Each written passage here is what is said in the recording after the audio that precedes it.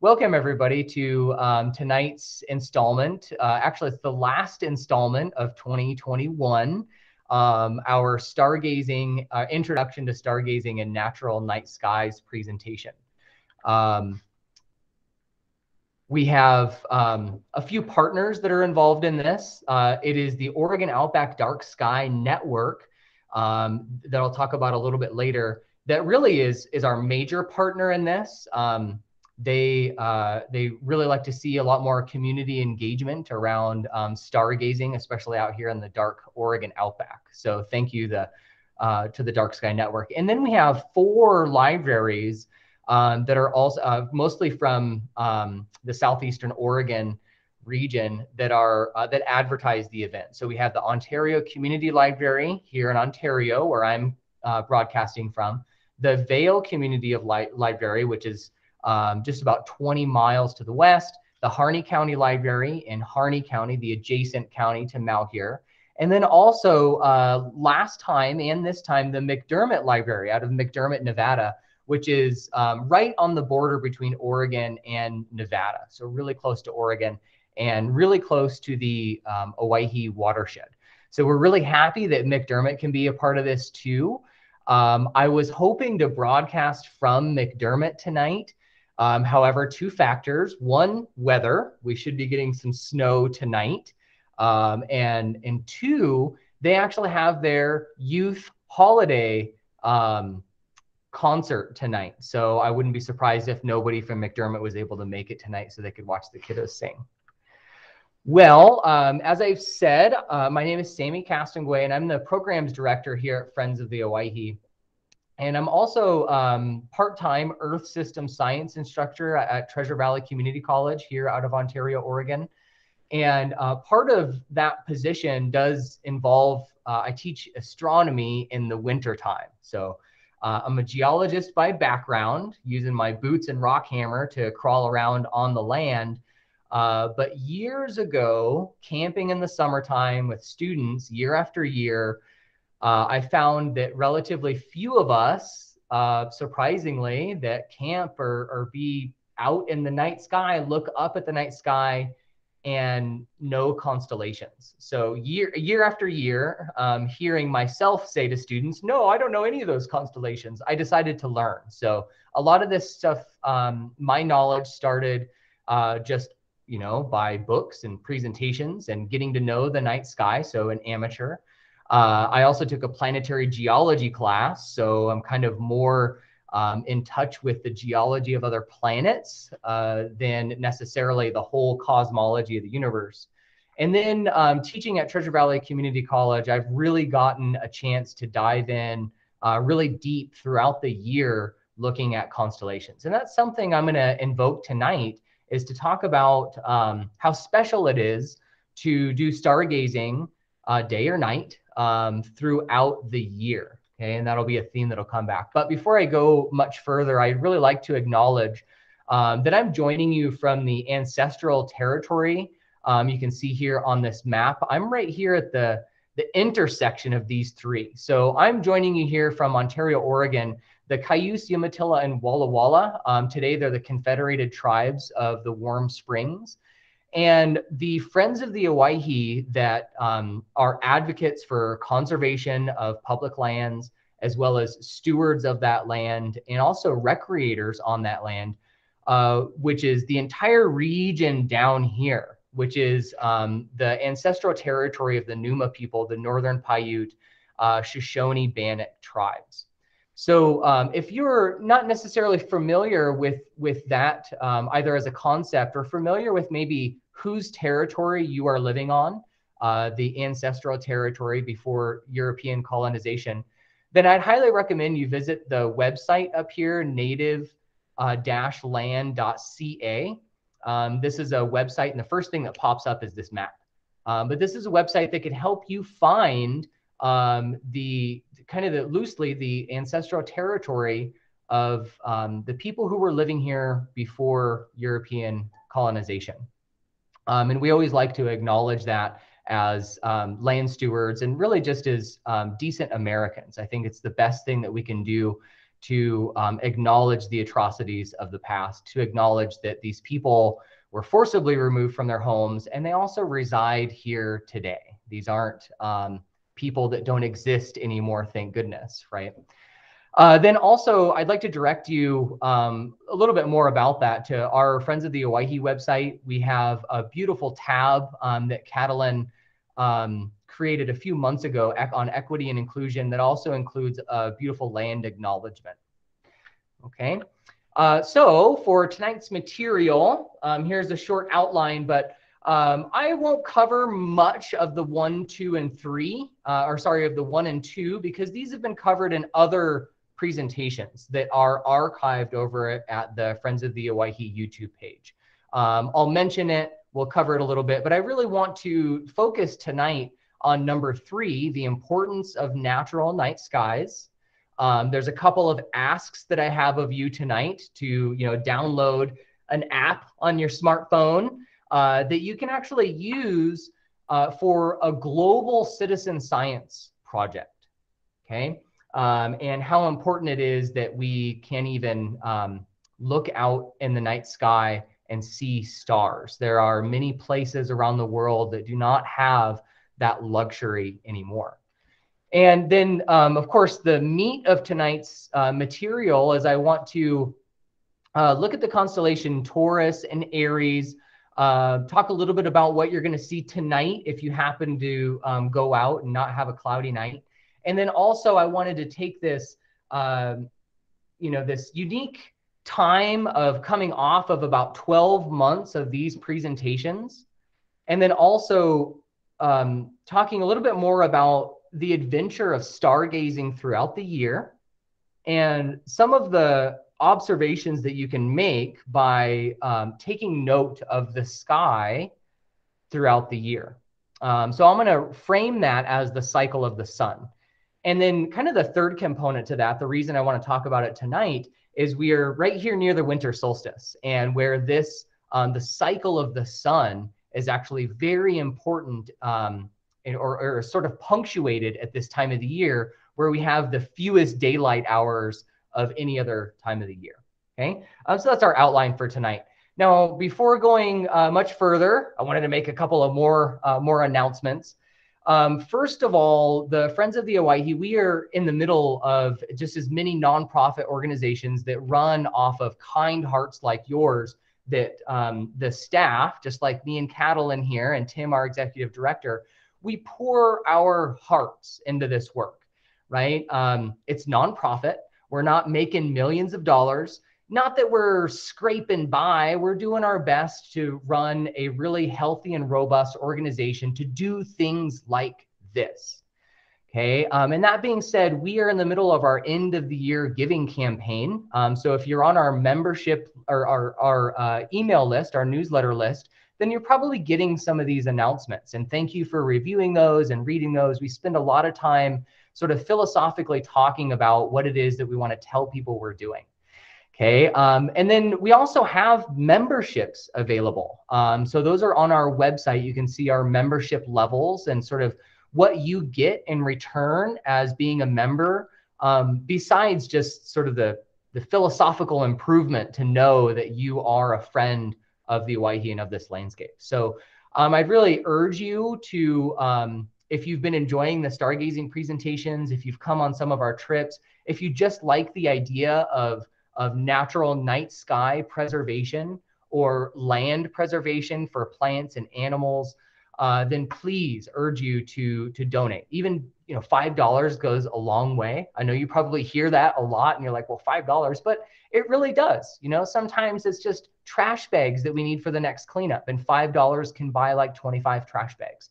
So um, it really does go a long way. And right now, your five dollars can turn into fifteen dollars because we uh, earlier this week we got news that we got a five thousand dollar match. So that means that you're um, we're we're working up to five thousand dollars with individual donations, and then once we get that, we get another five thousand dollars matched. Well, today we heard that we have another five thousand dollar match. So that means that your five dollars can literally be tripled. Your five turns into fifteen for the organization. So please um, consider donating, whether it's through the end of the year campaign, becoming a regular member for next year and donating monthly. It's a pretty easy process. Um, or, you know, whenever you come into your next small chunk of change um, that you can, where it's not, you know, stealing from your own table that you can donate. So that's my um, my encouragement for donation tonight. So thank you for hearing me out. And uh, then we also like to get together and celebrate. So we have a donor recognition celebration every year. Um, last year we did that, of course, purely virtually. Um, this year in our community, we feel safe enough, um, as well as staying um, masked and, and many people vaccinated, that uh, we're going to do this in person this year at Bert's Growler Garage, which is uh, one of our um, kind of business members.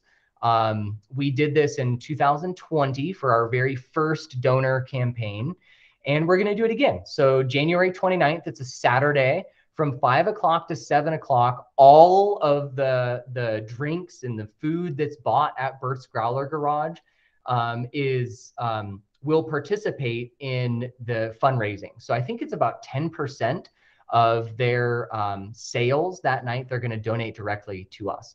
And then besides that, we have a raffle, we have door prizes, we have a silent auction um, to give folks. So if you, you know, are coming to us from Ohio, Sharon, and you don't have a chance necessarily to do that, then uh, we still have other benefits for uh, for donors that we can um, discuss later. Um, then another um, couple of things going on through the year. As I mentioned, I teach astronomy at Treasure Valley Community College. So if anybody coming um, from the community, whether that's the Treasure Valley wide, uh, Treasure Valley Community College does have some incentives for you to be able to take a class for really low cost or even free in some cases over winter term, just to try out the college thing. So um, if you'd like to join the astronomy class Mondays, Wednesdays, 4 to 7 p.m., um, I'd love to have you. And then, of course, if you don't want to take that for credit, but you just want to sit in on the class, that's possible too. Um, that is a live class with a lab and not virtual.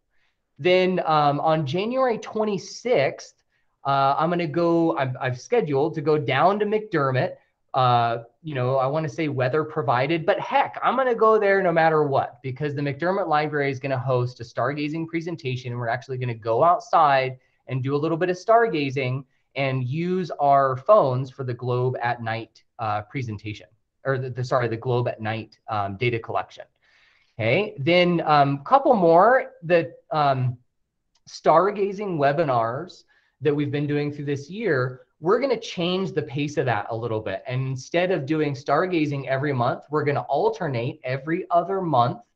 And in between, we're going to do some other kind of science presentation or some other kind of, um, I want to say, well, Owyhee related presentation um, to kind of inspire you know a, a little bit more um, imagery around the landscape so for example um, Scott Torland from the Oregon Department of Fish and Wildlife is going to join us in February to talk about their uh, bighorn sheep program. So uh, he often goes, I, I, actually asked him to come in January, but he was like, oh, I'm going to be out counting sheep. So they actually go regularly out into the Owyhee region to uh, count the population of bighorn sheep. So us, or really anybody as conservation advocates and, and scientists, can understand the impacts of, say, climate change, the impacts of a hard winter, the impacts of a domestic sheep disease on the bighorn sheep. So Scott Torland will talk a lot about that. Stay tuned um, for those announcements for what we have together for 2022. Okay, just wanted you to have it on your, your calendar. Then um, the last thing here that we are really excited about, this is a first for us, is we're going to host a backpacking class. And I almost typed in there ultra light backpacking class. Now, they, um, Emmy Elliott and Steve Silva, they will give us a ton of information on gearing up for a more light backpacking scenario. So if you're thinking backpacking, I don't want to carry 70 pounds of gear for three days. That's what they don't want you to think. They want you to show up fresh with no gear and they will help you collect the gear that's going to keep your pack light so you can have a really enjoyable backpacking experience. And this doesn't mean that you're just going to eat, you know, ramen the whole time and sleep only on the ground. I mean, they have a system together where they are nice and warm. They got chairs, they got all the bags they need, uh, and they do it ultra light, which is really cool. Um, so that is composed of three classes on Thursday evenings throughout March and the beginning of April. And then we're going to do a three night, uh, three overnight, uh, four day hiking trip in April on the um, uh, Oregon Desert Trail. Yeah, the ODT from Lake Owyhee to Leslie Gulch. Okay. Well, that's it for my announcements. Uh, that took quite a while. So, um, number one, uh, you can go back in the archives to look at this stuff a little bit more thoroughly. But I do recommend some gear for stargazing. It's not expensive gear, it's not a lot. It's just some stuff that's going to set you up for a good experience. As it gets colder outside, which is a great time to be out stargazing, you got to dress warm. If you get cold within the first 10 minutes and you're done stargazing, then you miss out on a lot of opportunity. Okay, so that's uh, first thing I'd like to mention. And then um, it's also really important, just like the gear to set yourself up for success, to set your awareness and to make sure that you have a process, right? Just like every morning going to work, you kind of have a process, right? You get up and you shower and you eat breakfast or whatever your process is. You know, maybe it's do yoga before you eat breakfast. I don't know. But having a process for stargazing is is going to improve your experience. So um, again, look at the archives, and I'll, I talked about that in detail in several of the previous lectures. Okay. Um, so moving on, I wanted to focus on the importance of natural night skies. Um, this is a, it's hard for me to say that this is a luxury that many of us have, um, whether again, you're in, you're in South Dakota um, and you have access to the, to the wide open plains, whether you're here in Southeastern Oregon in some of the darkest um, space in the country, um, it is some type of luxury that we have to be able to access these things and not everybody not everybody has that. Um, and that's really unfortunate. So part of the or the part of the point of the oregon uh, outback dark sky network is like we're doing here some education around this both stargazing the constellations but also education around the dangers of light pollution right um, and it really is a, a danger to the cultural resource that we all share. So uh, these are the things that I'm going to hit. A cultural resource. What do I mean by that? Um, light pollution, kind of what is it, and what are some of the solutions to this? Um, then I want to talk a little bit about the citizen science projects that are out there and doing dark sky measurements and how you can get a hold of some instruments to do that. And then um, again about the Oregon Outback Dark Sky Network. And so the the end here, the end result is if you're here, you probably like stars. You probably like stargazing, or at least you like the idea of wanting to do that. And if that's the case, then please be a dark sky advocate. And so what does that mean? That means verbally. Verbally take this in. Let's talk about light pollution. Let's do what we can to keep the areas of the world that are still dark. Let's keep them dark. Okay. Um, so what do I mean by a cultural resource?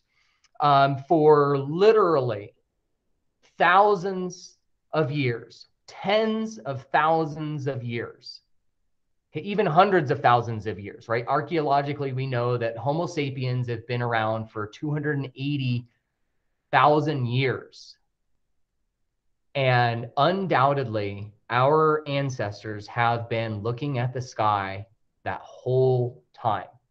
And that's just Homo sapiens, right? That's just us, modern day humans. Well, what about our predecessors? Am I saying that animals don't look at the sky and appreciate it in the same way? No, not necessarily, but we're not going to have the animal consciousness conversation. But let's just focus on us today and us in just the last hundred years. Even in the last hundred years, I guarantee that your grandparents, no matter your age, no matter your generation, let's just talk about your grandparents. They probably knew more about the night sky than you do just inherently, whether they heard about it in their school curriculum, whether their parent taught them, whether they sat at, you know, some around the fire meeting at a Girl Scout meeting. I don't know. We know that our that generate two generations ago, it was more average knowledge for people to have, to find the North Star, to know constellations other than just Orion and the Big Dipper.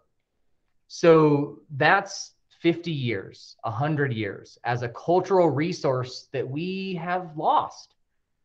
I walk into my astronomy class in the first 10 minutes, and that's the first question, right? Well, okay, that's the first series of questions is how many folks can find the Big Dipper? Half of the hands go up. How many folks can find Orion? Maybe a third of the hands go up, maybe two thirds, you know, it depends on the year. How many folks can find the North Star? It's I'm lucky. Well, uh, well, we are lucky. I don't know. It's it's nice if I see one hand go up. Usually there's that hesitancy where someone's like, "Well, I think that I can. Isn't it that one straight up above my head?" But remember the stars rotate, so of course it's not that one. Um and that's a little bit disturbing, right? This this thing that we as homo sapiens, our whole entire humanity culture has had for thousands of years is now become something that is a luxury for us to see. And that's that's just a little bit sad. So part of what we're doing here is is education. Let's talk about the stars. Let's learn some constellations. So then you aren't one of those students with their hands down that's like yeah i don't know anything right? And then the other side of that education is asking you to become a dark sky advocate for all of us right? This is a, a cultural resource throughout um, the ages of humanity. And so, for example, I just have a couple of things up here on the slides. I like to talk, talk about this as the caveman perspective in my class. We take the starship perspective where we go look, you know, using our, our um, probes and satellites, we go look at the other planets and the geology. But we're here with our feet on Earth. And what we do by stargazing, I mean, maybe we use binoculars or a telescope, but with naked eye stargazing, we're doing the same thing that we've been doing as humans for thousands of years. And so over here on the right hand side of the screen, you can see, and whether this is the Greco Roman culture down there in the lower right side, you know, where all the star constellation, scientific star constellations come from today, whether this was the people of Teotihuacan uh, outside of Mexico City, that built their their pyramids in a structure after the cosmos or even to the right of that you have the uh, gaza strip the, the egyptian pyramids and the great pyramid that are all well known to be designed after certain alignments of constellations and then um, it's not just um, you know distant cultures. This is cultures here in north america as well. So here's um, a book of lakota star knowledge that we talked about a little bit last um, last month um, on the legend um, around the ursa major and the pleiades constellation. And then in the very top picture there you have stonehenge and then i have this cave painting or actually it's this replica of this cave painting that is interpreted. You can see this person here who's kind of interpreted as um, as probably being uh, you know a shaman in their tribe or something kind of like that. The terminology shaman probably isn't appropriate, but you know what I mean. The the medicine person in their tribe. This seems to be wearing a blanket that is draped in stars, is how anthropologists interpret this. And then over here on the upper right-hand corner, we have um, the star or the the story that I'll talk a little bit about tonight about the cycle of the sun um, at the winter solstice time. So again, this is a cultural resource for all of us, and that's why we believe in preservation of that cultural resource. So let's talk a little bit about light pollution and solutions. Um, you can use this map here by the Cooperative Institute for Research and Environmental Sciences at the University of uh, Colorado Boulder to um, to look at the effect that light pollution has had around the world. Okay, now I shifted to North America because um, that's where most of us are coming from, and not to be like you know U.S. centric or anything, but uh, you can see, boom, over there on the eastern seaboard, it is just light polluted, and there's no going back. Okay, not that not that it's I want to say it's a lost cause or anything. I'm so glad that those folks can still see some stars. I think there's like six stars you can see from downtown New York City during the year. So Sirius, you know, like the star Sirius is one of those. Um, but over here in Western North America, we have these beautiful, big, amazing pockets of darkness. And we do not want to see those invaded by more light pollution. It's not like we're talking about a city being put in the middle of these things. I mean, the cities are where they are. What we're talking about is the the glow of the cities that are emanating into this darkness. So um, identifying some of these areas is um, first in that process. So um, identifying the dark night or the dark sky areas. And then um, one way to combat this or a solution to invading light pollution is making is using lighting that makes sense. Okay, first of all. Uh, then another um, part of this process, just like I was saying, identifying the areas is let's identify them, draw a circle around them, and call it a dark sky place. And there's a dozen different ways to do this. There every week there's a new news article coming out describing one of, of a new dark sky place. Okay. Um, so here's some of those lighting solutions. Here's what unshielded light looks like. Okay, where you have light emanating up into space where nobody's going to use it. And then you can cap that light, you can partially shield it, or what is recommended, right, to get the most out of the dark night sky is you can fully shield the light and point the light down at the ground where we're actually going to use it. Okay. Um, and again, on these dark sky places, the Central Idaho Dark Sky Preserve was one of the really big, the first big ones in the United States. Um, Sunriver, a town in Oregon, has recently designated literally their their community. Um, state parks have designated these, national parks have designated these. So there are many different ways for a community to become engaged in this work and say, we're going to do this.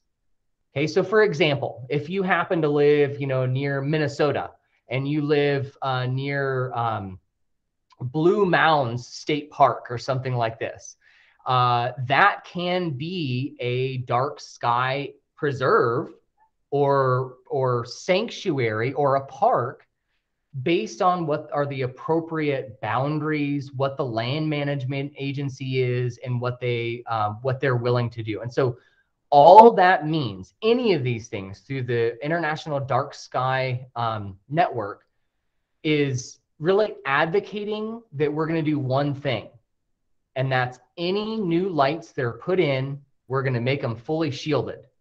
And for those lights that are existing in that quadrangle today, we're going to slowly, well, hopefully within 10 years, I think are this is the standards, we're going to work up to 90% of those lights being shielded. And this isn't legally binding. I think that's really important to say too. It's not like anybody's going to get sued, anybody's going to get go to jail for this or anybody's going to get their land taken away it's not legally binding, right? This is a pact between all of us to share this cultural or to preserve this cultural resource. Okay. Now, one comment here is that we must have data, real data to support this. So the last image that I showed you was computer data or satellite data um, that is, is using an algorithm to show light pollution. But really, um, so here's yeah, that same map. And this polygon that's up here in blue is the Oregon Outback's dark sky network generally area. Now it goes into Nevada, it goes into Idaho, but you can see the black, black, black, black, black stuff that's here. And that is what we are trying to preserve. So any of these smaller lights that are in here, any of the country lights, any of the barn lights, and particularly uh, the public land that's out here, like the BLM, if they have a guard station that's out there, we're just saying, please, will you put shielded lights there that aren't going up to space and let's keep this area dark. Uh, and that's why we, as Friends of the Owyhee, are officially on the steering committee for the Oregon Outback Dark Sky Network, as we're doing our best um, to do this work. But you can do it too, right? Um, to figure out exactly how dark, whether it's in Malheur County, Harney County, Lake County, or you know, Minnehaha County, uh, you know, you can get a hold of a sky quality meter and you can um, use this pretty simple device to calculate or to, to take a measurement of how dark the sky is. Um, so here in Malheur County, we have these available at the Ontario Community Library. There's two of these kits available that you can check out. Uh, and in Harney County, I think there's also one or two kits available that can be checked out. And uh, possibly we can get these in Vale, we can get these in McDermitt, we can get these down in Jordan Valley. Um, so we can get these in the hands of people who live within this Oregon Outback Dark Sky Network to really gather that data to figure out how dark this stuff is. Um, and it's really easy to submit the data. Um, here are the open data collection periods. We are creeping up on um, the last of these. Actually, I don't see the last of these uh, listed here. I did pull out the, um, I believe it's December 25th to uh, like January 3rd, that date. Uh, there we go. Yeah, December 25th to January 3rd to look at Orion using the Globe at Night app. and it's seriously really easy, right? If you've done, you know, any texting before, it's just as easy as that. So you pull up the app, you uh, put in, it takes your GPS, you put in your observations, which includes how many stars you can see around the Orion constellation. It literally gives you a picture. Can you see these ones, these ones, or these ones? And you click the one that you can see. Um, you put in the sky conditions, whether it was cloudy or hazy. Um, and if you have access to a sky quality meter, you enter that data. If you don't, that's okay too, because the number of stars that you can see or the magnitude that's visible to your naked eye is a proxy for how dark the sky is. So that data even uh, itself even works for the citizen science project. So I urge you to go ahead and download um, or, or, go ahead and visit their website, theglobeatnight.com. Um, there's also as a um, here there's an app loss of night that is also a good one to use. But I I really highly recommend for all of the data that you collect through loss of night lot to go over to globeatnight.org. Excuse me, not .com. Um, and fiddle around with it tonight, right? Get ready for this post Christmas into New Year's um, data collection. All right. Okay, well, um, we are, let's see, 6.06. And so that means I have plenty of time then. Um, and I'm getting a little bit warm. I don't know why I didn't take my jacket off before, folks, but um, we have plenty of videos archived over at the YouTube page um, that you can check out. So I'm not going to necessarily recap a whole lot of the previous lectures because they are archived there. So please, um, you know, visit the link or use your Google skills um, to go check that out. Um, I do want to recognize what we did last month in November, uh, which, um, well, we did a couple of different things, but uh, this you can still do this month. I mean, it just barely, just barely. Uh, so I like to I like to say good night, summer triangle, and good morning, winter circle. Uh, you know, the sun goes down absurdly early. It's like 5:20 when it gets dark here, and then it doesn't come up until like 7:20 the next morning. So chances are you're already awake when it's dark out in the morning or in the evening. And it just takes a glance out the window or when you're out there starting your car to go take off in the morning, or maybe if you you know, are scraping your windows if you live in one of those places, then um, take a look at the um, western horizon during just after sunset, and you can see some of the stars of the summer triangle going down. Um, so Vega and Altair are still um, still visible, um, but Deneb is like right there on the horizon. If you have a really good view of the horizon, you can probably still see it. Okay, um, so that's the summer triangle that's going down in the evening. And then as you wake up in the morning, you know, going out there to get ready for work or go to drive to the coffee shop, uh, you can start to see the familiar stars of the winter circle coming up over the horizon. Um, so that includes, and we'll review all of this again in January. I can't believe it's already been a year. Um, but we'll uh, take a look at the winter circle again. And um, tonight, I'll talk a little bit about one of those constellations, the Taurus constellation, that has the red star Aldebaran, okay, the eye of the bull. Um, so let's start there at Aldebaran. If you go counterclockwise over to Capella, Uh, then around the circle to the Gemini twins, Castor and Pollux, uh, two twin stars that are about equal brightness. Um, and then down from those, you get to Procyon or Canis Minor, the little dog. And then to Sirius or um, Canis Major, the big dog. And Sirius, as I joked with earlier, that you can see that from New York, seriously, um, that is the brightest star in the sky. I mean, excluding the things that are bright that are not stars, like the moon and the planet Venus. Um, Sirius is the brightest object in the night sky. Okay, and I mentioned that uh, not only because it's in the winter circle, but um, you know, again, imagine this is our cultural resource, right? Our television for thousands of years that we've been looking at. And the brightest star in the night sky, I would imagine, is pretty important, right? I mean, it's important to me, and I have a television and a smartphone. Uh, but the star Sirius has likely been observed again by all peoples in um, the northern hemisphere and, and uh, near equatorial latitudes for thousands of years. And it's likely that that star, because it's so bright and it's so prominent, um, has found its way into a lot of folklore and mythology. So that comes into the conversation a little bit later tonight. Um, and then as you go, uh, keep going around the circle, we get to Rigel, which is the lower right knee of the constellation Orion.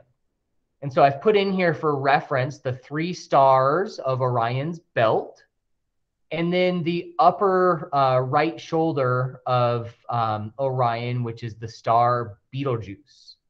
Um, and it's kind of got a reddish orangish tinge to it, and it's a pretty big, bright star. And it falls almost in the middle of this big thing we call the winter circle. And it's important to say um, that the winter circle is not a constellation. Uh, it's what we might call an asterism, uh, just like the Big Dipper. Um, it's something that we know, we can see, we can connect the dots, and it's some kind of like friendly word of mouth thing between you and I but it's not a scientific constellation. Um, Taurus, which includes the star Aldebaran, is a constellation. Orion is a constellation.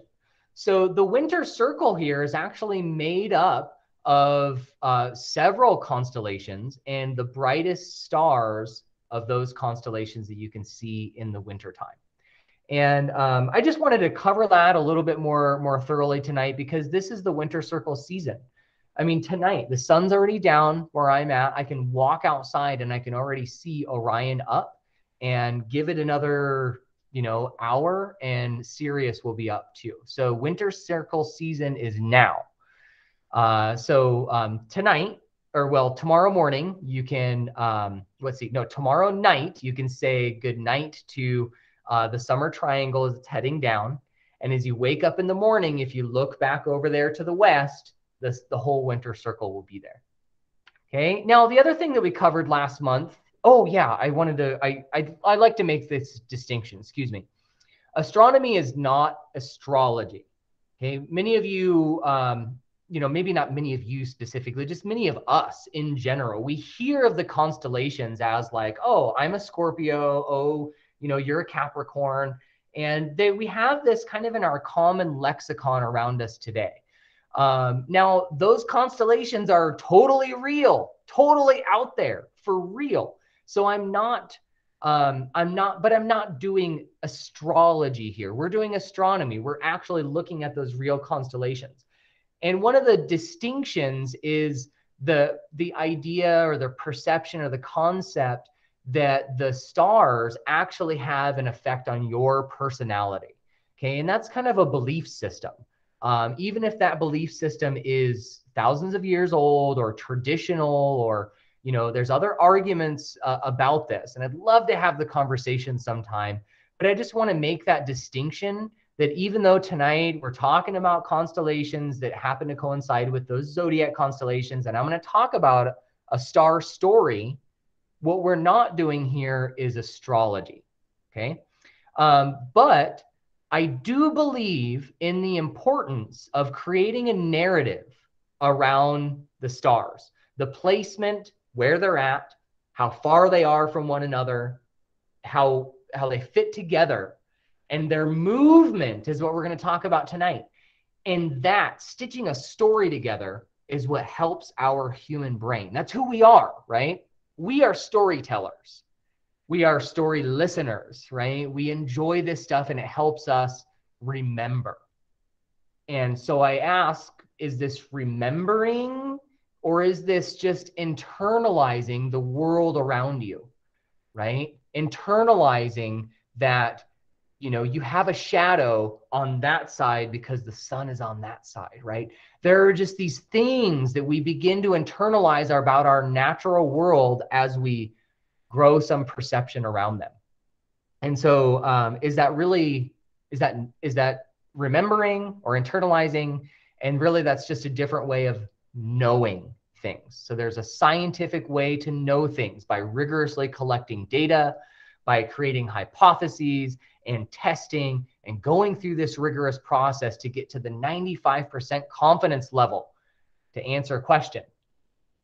But there's other ways to know things as well, and that's through internalizing and living. So, uh, for instance, um, we can we can call that uh, native science is one way to refer that to that internalizing, that way of knowing by oral tradition and word of mouth. And last month we talked, um, or I talked about the um, Ursa Major and Pleiades myth. And really just doing that as a way to help you internalize the movement of these constellations, not necessarily the origins. I gave a big origin story kind of thing that's from one specific culture uh, and attributed to the Lakota culture. And we talked a little bit about that, but this is a way to get to know that um, a little bit differently. Oh, I didn't realize I kept that slide around. Okay. Aw, good slide. Okay. But um, tonight, in the remaining time, I want to talk a little bit about, uh, in the spirit of the winter solstice, um, the, the visible cycles of the sky. And that's during the day and the night in this case. So here's um, a picture of the the earth um, from our perspective we see the sun going around us of course that's not reality right i'm not that's not what i'm saying here trying to argue here uh, but from our perspective this is a good way to look at this um, to look at how the equinox um, affects or, or it, it, comes from the equinox and solstice come from the tilt of our planet. Now um, you can think about this as the annual movement of the sun or, and I put this in quotes because this is a little bit more storyteller like, the death and rebirth of the sun that happens every single year like clockwork. In fact, that's what clocks are based on. That's what the calendar is based on. Um, so first, though, we should acknowledge what you're actually going to see as you go out tonight. Uh, many of you have probably already been looking at these planets for the last month, just as I have as the sun goes down. So uh, just right out there. I can almost see it out through the window. You can see uh, Venus, the one of the brightest objects besides the moon in the night sky, and it's a planet. Um, you can see Venus just trailing behind the sun. And then we'll skip over Saturn, but up there is Jupiter, that's also fairly bright. And it's up there right behind it is the um, Aquarius constellation. And then, okay, I won't skip over Saturn. Uh, Saturn lies between them. But the way that you're going to find Saturn isn't by looking for it, it's by looking in context of the other two planets. So that's why I wanted to skip it at first. Uh, all of these objects fall along the ecliptic, right? The path that the sun takes throughout the sky. And again, that's from our perspective. But why exactly is that, right? Well, because the solar system is in a large disk around the sun. Okay, we all orbit around the sun in the same disk. It's not like one is going this way and one is going this way. No, it's all in one large disk. So, therefore, from our perspective, when we're looking towards the sun, that's on the same adjacent or the same plane if we were to turn around and look towards Jupiter. So they actually fall all in a line. Oh, wow. And now think of this in, in context of how we communicate sometimes. We're like, when the planets align, well, they're always in a line, right? uh, in reality, they are actually always in the night sky in a line. What's rare is when we actually get to see those things um, line up, or, or, sorry, not line up, but actually get to see all seven of the planets. Okay, uh, so I wanted to point those out. And then um, tonight, the um, portions of the winter circle that are coming up, uh, you can see um, Aries and Taurus tonight. So I'll use my cursor first, but if you can find the moon, which should be totally unavoidable tonight, then you can see um, the bright reddish star towards the east that is the eye of the bull. That's the V that's right here um, of the Taurus constellation. And that V, if you extend it out, so Aldebaran, if I extend out that same angle, I get to a faint star. That's the tip of the horn. And if I go in the other direction, you get to the tip of the horn. So there's the horns, there's the eye of the bull, there's the chin. And then up here you have, there's the Pleiades constellation. Up here you have kind of the body of the bull, okay, and the leg down here. Then on the other side of the moon, you have the Aries constellation. It's a little bit tricky so um, I'm going to forward through these. Okay, there's, um, again, once again, Aldebaran, or uh, sorry, Taurus and Pleiades. And you can see that on Stellarium, how that kind of looks. But let's go to Aries. I find one of the most reliable ways to find Aries is to actually find this constellation first, the uh, or Triangulum, excuse me uh, that makes a right triangle out there in the sky. So lucky enough, we have the moon to navigate with tonight. And if you go um, about 18 degrees um, straight up towards the zenith from the moon, so 18 degrees is about a whole hang loose. If you go 18 degrees degrees above, you'll see this right triangle of Triangulum. Then between those two, the bright two bright stars make um, the horns of the ram and then there's a faint star that makes up the eye. And then if you go, um, it's only like seven or eight degrees towards the horizon, um, or sorry, towards Aldebaran from um, the two bright stars. You'll get to the backside, um, the little triangle that's right here of the ram. Um, oftentimes, you'll find in a lot of the constellations, the backside of the animals is a triangle because one of those represents the, the spine or the top of the spine, the sacrum. One of those represents the kind of the lower rump or like the sit bones, you might think of it. And then the upper one represents the tail. So, like Leo the lion, you'll see that the backside is a triangle. Um, uh, Aries, you'll see that the backside is a triangle. Okay. And then also for reference in here, if you go way over to another star um, that's as equal brightness as Hamal, um, the star here in Aries, then uh, you went too far because that's the star Algol of, um, of uh, Medusa. Don't look at it. Don't look at it. You're turned to stone. Okay. Um, so let's talk a little bit about the cycles of the sun. And here's the awareness that we'll set. Um, look over to the east where the sun rises. You can do this all year round. And I suggest that you go ahead and start doing that tonight, or well, the sun's already set, but you start doing that tomorrow morning. Um, today, the sun sets around 520 and it rises around 720. The moon is almost full. It's full on Saturday night. Uh, get your full moon groove on. Uh, and then the process here is to um, go ahead and find a place that you can repeatedly go at sunrise. Designate a location that you can see the eastern horizon. Then, from your point of view, mark on the ground the direction east. And then, um, once a month, it only once a month is fine. You can go out and you can notice where the sun rises with respect to east. Um, and then you can also note the constellations that come that are in the night sky before the sun rises. And why would you do all this? Well, because I'm suggesting it for one. It's a fun process to do, but there's actually something behind this. There's a big story that I want to illuminate here. So let's start with this. During the summer solstice, in the middle of the summer, when the sun rises, if you're looking over here at the east and the sun's rising, it's way over there. It's what we call north of east. Okay, hopefully you can imagine that. It's down here in the image. There's E, the red E, and then here's sunrise. Well, a little bit after sunrise, and it's way over here north of east.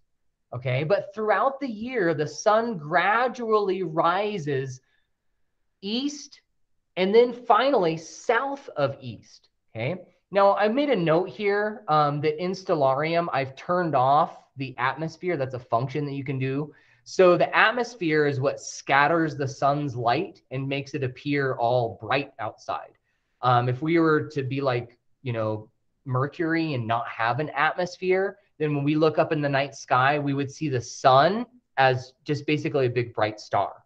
Okay, kind of like the moon or something like this. So um, I've turned off the atmosphere so we can actually look at the, the constellations when the sun is rising. Okay, so the sun is rising north of east, but on the equinox, it rises right smack dab on east and it sets right smack dab on west. Okay, and then this time of year, here we have the date calendar down here. If you didn't already see that, 1221, about a week away. At sunrise, the sun comes up very far south of east. Okay, so that's part of the story here. I just wanted to illuminate that that the cycle of the sun is actually it, it in the summer solstice it rises north of east and it makes this giant arc and it sets north of west. But in the winter time, it rises south of east, makes this teeny little bitty arc, and it sets um, south of west. Okay, now here's uh, part of the story part, is I went ahead and put in the constellations here. So um, adding constellation observations back in October, I just chose my birthday because, you know, that's my birthday. Uh, but you could choose anywhere between October 15th and the 31st, where the sun actually, for the first time during the year, um, touches the Virgo constellation, or in the part of the story, I'm going to refer to it as the Virgin. Okay. And then about a month later, um, if you look at the sun's position with respect to the rest of the constellations behind it, there's the scorpion. Okay. There's Antares, the heart of the scorpion. And then there's the claws. And so it appears that the scorpion has bitten the sun. Or I guess um, in some cultures, this is referred to as a kiss. Um, because the bite of the scorpion or the penetration of the scorpion often makes two little little holes. Um, so bitten by the scorpion. And then for three days afterwards, over here on the right hand side of the screen, 20th, 21st, 22nd, for three days, the sun stands still. It appears to die in the sky. It's not going that way, south of east, and it's not going that way, north of east. Okay, it appears to rise in the same location every day. But by Christmas, it's clear that the sun rises further to the north on Christmas. So we have this kind of this image then that during the winter solstice, the sun might go away. It might not ever rise and become summer again. But on Christmas, we get to all celebrate that, yes, the sun has come back and it will now continue on its march up to the north. Okay, wonderfully. Now, on sunset, the night before Christmas, otherwise known as Christmas Eve, right? If you look over to the east during sunset, then um, you can watch the Orion constellation come up. And if you watch Orion come up, or the three stars of the King Orion, then uh, and you see Sirius come up over the horizon, as I mentioned earlier, it's about to do that. Then the straight line between um, the three stars and Sirius actually marks the precise location. I mean, it's within two degrees the location on the horizon where the sun will rise the next morning. Okay. Now, just imagine that. Any other geometry to this, and the sun isn't going to come up in that exact location. This is very peculiar or very particular orientation to just this couple of days at this time of year. And I think that's amazing. And then if you wait until sunrise in the morning, the main constellation that you're going to see just a couple of hours before the sun rises is guess who? The Virgo constellation rises at about um, two o'clock in the morning, just seven hours later. So, um, all in all, that story might sound familiar. Um, it is um, anthropologically referred to as the Christmas story. Um, so, we have in the Christmas story, we talk about the Christmas star. And anthropologically and, and biblical scholars looking at that, we've never really been able to, li- and, and astronomers line up exactly what the Christmas star probably was. Some hypotheses are that it was a supernova um, that, uh, that uh, occurred about that time. But also, anthropologically, many folks refer to this cycle of the sun and these unique orientations of all the constellations that find their way into this Christmas story as the origins and the reason for the season. Um, and I think that's really beautiful and it's really elegant. And it gives me, you know, um, as a as a stargazer, as a geoscientist, more emphasis behind this whole season, where I can look at the sun and this cycle throughout the whole year, knowing that winter is coming, that we get this unique Christmas time and then we're going to have summer again at some time soon. And I'm sure that agricultural peoples who invented the, or not invented this story, who started telling this story, referred to it in the same way. So again, this is an example of the stars being a rich cultural resource for all of humanity. Okay. Um, so with that, oh, I didn't change the date up here. Um, let's do this again in January. It'll be about January 16th or something like that. And um, maybe the 17th. And I hope to see you again. It'll be stargazing in January. And then after that, we'll do one of our science topics, and then we'll rotate back to stargazing and so on and so forth. So um, I really enjoyed getting to do this throughout the year um, and really enjoy to see a lot of people coming back. And um, I'll stop it right there for any questions. Uh, I'll look over here in the comments. Let's see. And if I don't see any in the comments, you're welcome to go ahead and um, and ask. Okay, it looks like I didn't. I don't see any comments since about 5:30 from Casey Brown. Hi, hi, JC Combs from Idaho. Well, good. Um, if you do have a question, go ahead and unmute, and you can ask your question uh, verbally. If not, then we'll hang out for a little bit. Uh, Lupe says, interesting presentation. Thank you so much. You bet. Yeah, it's absolutely my pleasure. And for all of you, including you, Lupe, I hope you're able to go out into the night sky and apply some of this that you saw tonight, whether that's looking at the planets, looking at the, the eye of the bull, Aldebaran, or even tomorrow, like watching the Christmas story happen in front of your eyes. It's really beautiful. It's really cool. Okay. Uh, Janet says, thanks for the information. Okay, it doesn't look like anybody's um, jumping up for a question or unmuting. So uh, I guess we're we're done there. Thanks a lot, folks. Um, really enjoy getting to hang out with you once a month here, and uh, hope you come back next time. Okay, and if you're looking for uh, the review of the presentation, it'll be up on YouTube in the next week or so. Okay, give us a little bit of time uh, but we'll put it up there um, soon. And then you can also see the archives that are there. Okay, Kelsey Taylor says thank you. Kelsey, good to see. It's been a long time. Good to see you here. Glad you found found out about this.